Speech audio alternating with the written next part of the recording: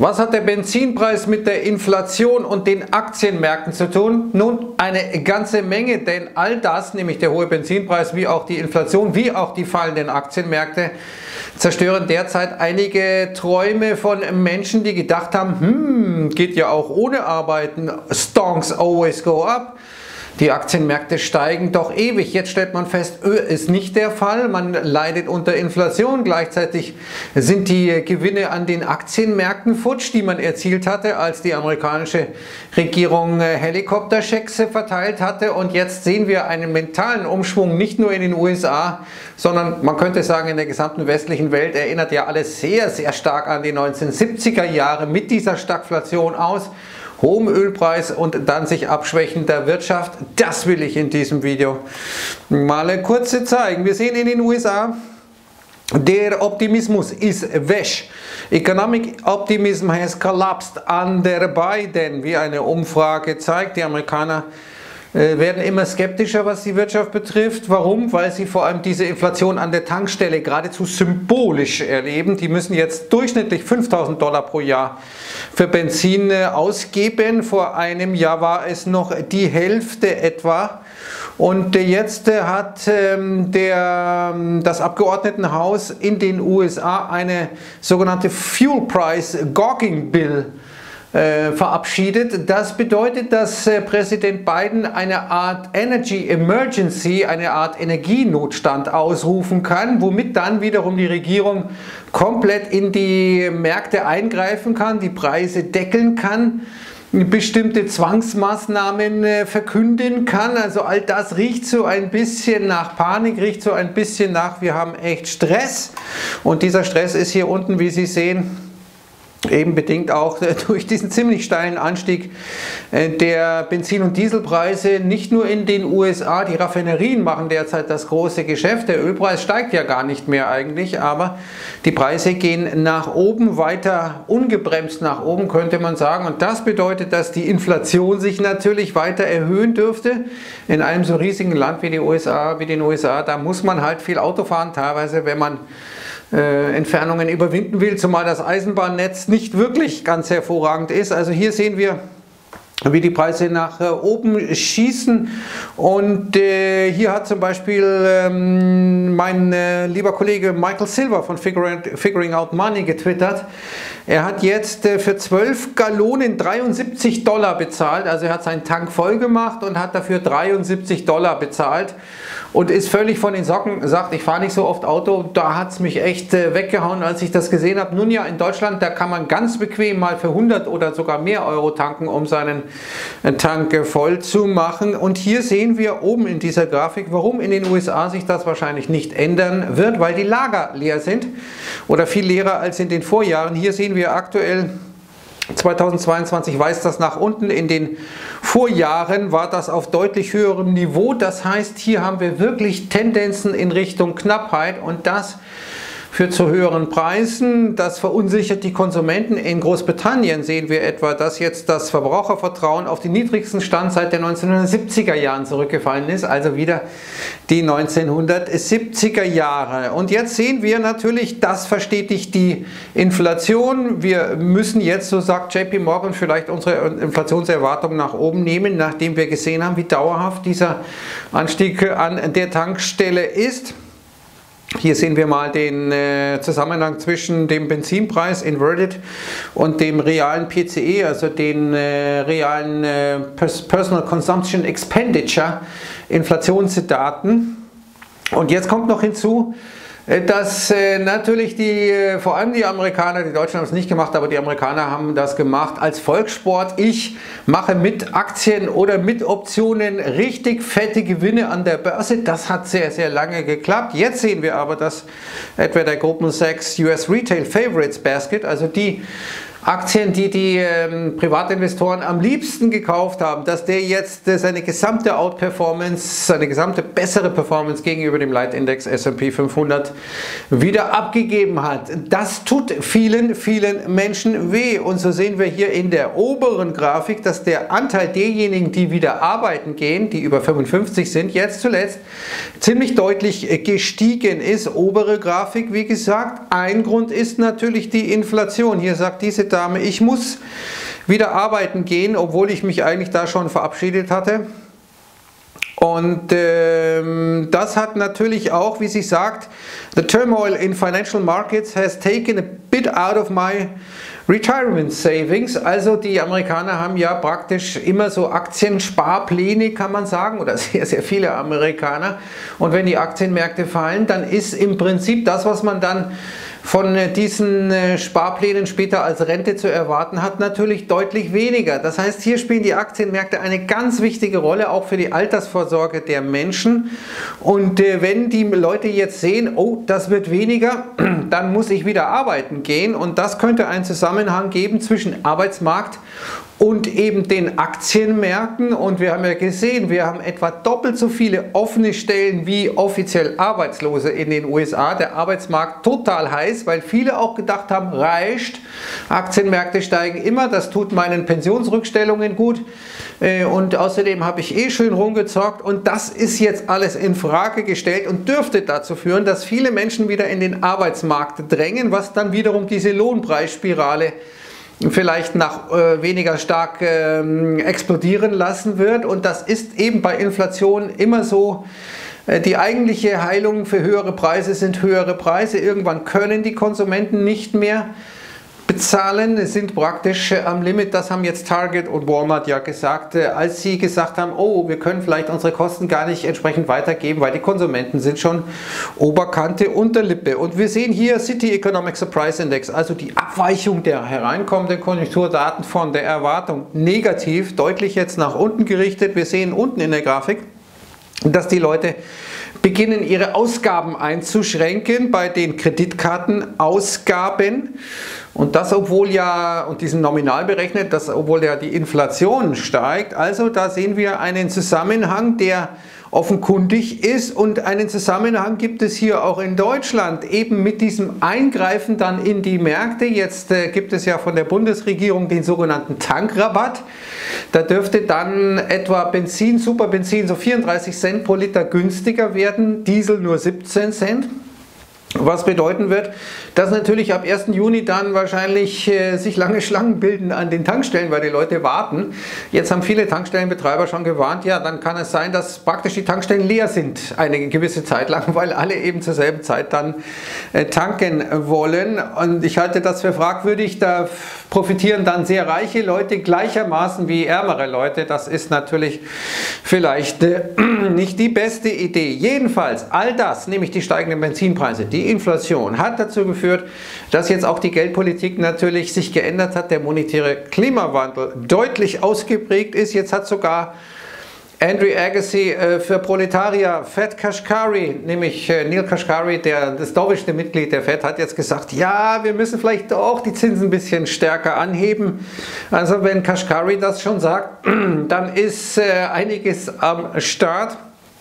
Hier jetzt eine Umfrage unter äh, den wichtigsten Analysten, die sagen, ja, die, äh, wir müssen unsere Zinserwartungen hier nach oben nehmen, was dann wiederum die Rezessionswahrscheinlichkeit deutlich anhebt. Und Stephen Roach, der für Morgan Stanley äh, eine bedeutende Rolle gespielt hat, ein sehr bekannter Mensch ist, äh, nicht nur in den USA, der sagt hier in einem CNBC-Interview, das Inflationsproblem ist widespread, persistent und likely to be protracted, also das Problem ist viel, viel größer. Und die Märkte seien nicht mal nah dran, die ganzen Dimensionen und Konsequenzen äh, dieser Inflation wirklich einzupreisen. Und das zeige, wie tief das Loch ist, in dem derzeit die Fed und Jerome Powell sitzen würden. Also ein bisschen skeptische Töne, aber manches deutet eben auf eine längere Inflation hin. Und wir hatten vorhin diesen Zusammenhang Inflation, Aktienmärkte, Benzinpreis. Wenn wir jetzt zum Beispiel bei den Aktienmärkten wieder mal dahin kommen würden, wo wir am Jahresanfang stünden, und das wären beim S&P 500 etwa 18% mehr, beim Nasdaq fast 30% mehr, dann wäre es immer noch so, dass wir praktisch äh, aufgrund des Kaufkraftverlustes durch Inflation 5 oder 6 Prozent, 7 Prozent, 8 Prozent weniger Kaufkraft äh, hätten. Das darf man sich nicht, äh, darf man äh, sich nicht in die Tasche lügen und faktisch dürfte die reale Inflation ja ein bisschen höher liegen, wie wir hier in diesem Bild sehen. Das eine ist die offizielle Inflation, das andere ist ähm, die sogenannte wirkliche Inflation. Wenn Sie bestimmte Preise sich mal anschauen, die sind teilweise um 30, 50, 100 Prozent gestiegen. Das kommt mit den Berechnungen wahrscheinlich in diesem Warenkorb nicht wirklich zum Ausdruck. Jedenfalls sehen wir, dass das natürlich diese Inflation, dieses Umsteuern der Fettpolitik, diesen monetären Klimawandel eingeleitet hat, unter dem besonders die Tech-Werte leiden. Wir sehen, dass jetzt etwa die Fang-Stocks 2 Billionen an Marktkapitalisierung verloren haben in gar nicht so langer Zeit. Und jetzt wird auch die Wall Street ein bisschen unruhig. Jetzt äh, haben gestern etwa 100, hatten wir gestern 162 Downgrades äh, bei lediglich 62 Upgrades. Normal ist das Verhältnis andersrum. Die Analysten sind immer total bullish und stufen Aktien rauf. Ganz selten, dass es mal eine Sell-Empfehlung gibt. Jetzt haben wir es genau andersrum. Könnte ein Kontraindikator und ein Hoffnungszeichen für die Bullen sein. Zumal wir jetzt beim Nasdaq Composite ganz unten am Bollinger Band angekommen sind. Ähm, normalerweise gibt es da Swings dann wieder nach oben und zumal JP Morgan, die in, ja in Gestalt von Marco Kolanovic immer gesagt haben, beiße Dippe, beiße Dippe, beiße Dippe, jetzt irgendwie so in die, äh, auf die Nase bekommen haben, dass sie gesagt haben, also wir sehen noch weiteres äh, Abwärtspotenzial für den S&P 500. Da sollten Bären bei solchen Aussagen wirklich vorsichtig werden, wenn JP Morgan jetzt bullish wird. Aber gucken wir uns mal hier auch wieder von Michael Silver Figuring Out Money eine schöne Grafik an, die zeigt Big Tech und äh, das alles also verschiedene Big Tech Aktien äh, wie Microsoft, Apple, Tesla, unten ganz äh, unten ist Tesla, Google, Apple, also die Aktien, die zuletzt ja unter Druck gekommen sind, in Relation zu ihren gleitenden Durchschnitten, alle praktisch drunter. Trend nach wie vor abwärts gerichtet, während wir defensive Sektoren wie Anleihen, wie Gold nach wie vor in einem Aufwärtstrend sehen. Hier, was hier eingekreist ist von Michael Silver, das ist Consumer Staples, die ja zuletzt massiv verloren haben oder dieser Sektor, weil eben Target und Walmart, die in diesem Sektor, diesem Sektor zugerechnet werden, ebenso stark auf die Mütze bekommen haben. Da treffen wir jetzt auf einen gleitenden Durchschnitt. Das könnte es in diesem Sektor erstmal gewesen sein. Ähnlich wie bei Gold sind wir jetzt oben durchaus äh, haben wir Trendlinien getestet. Kommen wir zum aktuellen Geschehen. Gestern etwas seltsamer Tag, relativ volumenschwach, leichte Minuszeichen vor allem beim Dow Jones. Wir sehen ziemlich gemixte Sektoren-Performance auch. Wir haben Consumer Staples ganz unten, aber auch Technology, also defensive Sektor und Risk-On-Sektor ganz unten. Wir haben oben Materials, Healthcare Materials, eigentlich ein eher Risk-On-Sektor, läuft also gut, wenn Risikobereitschaft da ist. Healthcare ist ja ein defensiver Sektor, also passt dir nicht alles wirklich so zusammen. Ein ziemlich verwirrendes Bild, was wir da gesehen haben und ziemlich verwirrend ist auch, wenn wir jetzt äh, mal zu meinem äh, 23,4 besten Freund kommen, Elon Musk, der ja jetzt äh, so ein bisschen zweifelt, ob er Twitter kaufen soll, weil es sind ja so viele Fake-Accounts. Ah, ich kann nicht kaufen, die Fake-Accounts und der will natürlich vermeiden, dass er eine Milliarde Dollar an äh, Strafzahlung leisten muss, wenn der Deal nicht zustande kommt. Das war vertraglich vereinbart. Jetzt gibt es eine Studie, die hier vom Manager Magazin eingesehen werden konnte, dass äh, sogenannte Twitter-Bots, also praktisch äh, künstliche Intelligenz, Bots, keine echten Menschen, die Tesla-Aktie systematisch nach oben gepusht haben. Und das ist natürlich wie ein Treppenwitz der Geschichte.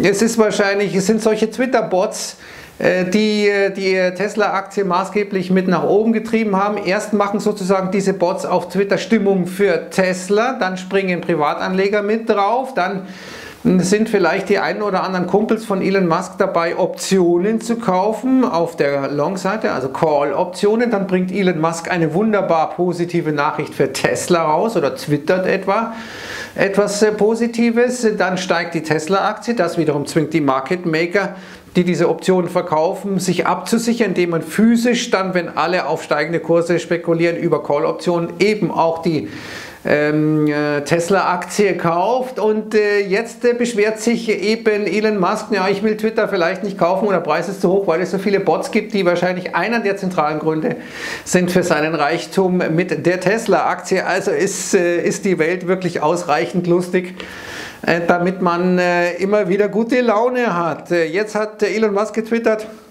wenn es einen Skandal gibt äh, über mich, und es dürfte in Zukunft einige Skandale geben, äh, denke ich, please call it Elongate. Ja, da werden wir uns dran halten. Elongate ist eine gute Bezeichnung. Twitter hat jetzt übrigens ähm, alle Tweets oder will jetzt alle Tweets, die Misinformation enthalten, also Fehlinformationen enthalten, da will man alle Likes und alle äh, Retweets und Shares deaktivieren. Schlechte Nachricht für Elon Musk und die Fed könnte man sagen. Jetzt vielleicht noch mal kurz zu diesem Thema Inflation, Lieferengpässe. Jetzt werden wir die Situation haben, wenn der Lockdown in China aufgehoben werden sollte. Hier sehen wir mal hunderte von Schiffen, die vor chinesischen Häfen warten.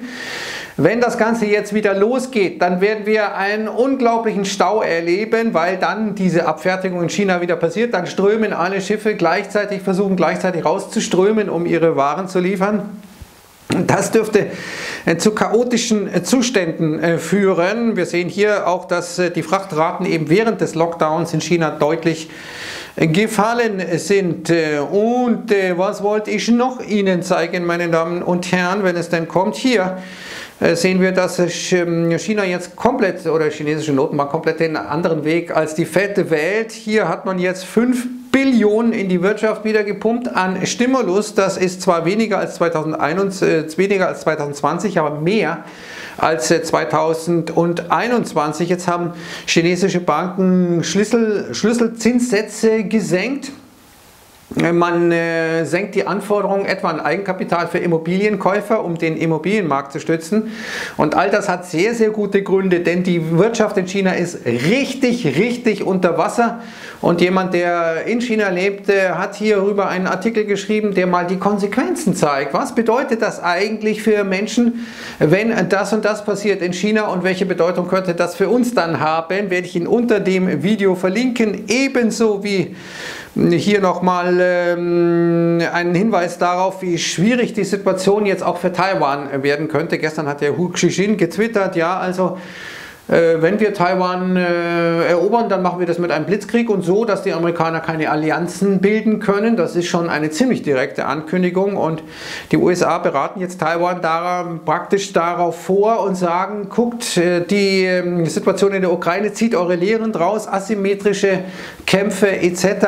Also da ist echt was im Busch. Kommen wir nochmal zu den äh, Situationen hierzulande. Hier haben wir heute die Erzeugerpreise bekommen. 33,5 Prozent Erzeugerpreise sind ja die Kosten für die Unternehmen. Die werden sie weitergeben an die Konsumenten. Wenn sie es nicht schaffen, frisst es in die Marge rein. Eigentlich war nur 31,5 Prozent erwartet. 33,5 kam es raus. Eigentlich nur erwartet zum Vormonat plus 1,4 Prozent, faktisch plus 2,8 Prozent. Also wieder mal über der Erwartung. Das ist der höchste Stand, den wir jemals hatten, seit es diese Daten gibt, seit dem Jahr 1900. 1949 und das, wie gesagt, wird natürlich auch auf die Inflation hierzulande dann äh, massive Konsequenzen haben. Ich will nochmal hinweisen auf äh, eben zwei Artikel. Der erste Artikel, warum explodierende Treibstoffpreise die US-Wirtschaft abwürgen und zwar so, dass jetzt sogar die amerikanische Regierung gesagt hat, äh, mit den Europäern, oh, mit dem Ölembargo gegen Russland, vergesst das mal, weil das bringt auch bei uns dann die Preise nach oben. Das ist wirklich äh, eine hervorragende äh, Situation, die wir hier sehen. Da zeigen sich Widersprüche, Interessenskonflikte etc. Und der zweite Artikel, den ich vorhin schon angesprochen hatte, die Lage der Wirtschaft. Es ist nicht schlimm, es ist schlimmer in China und unten sehen wir eine Grafik, die Global Debt Bubble.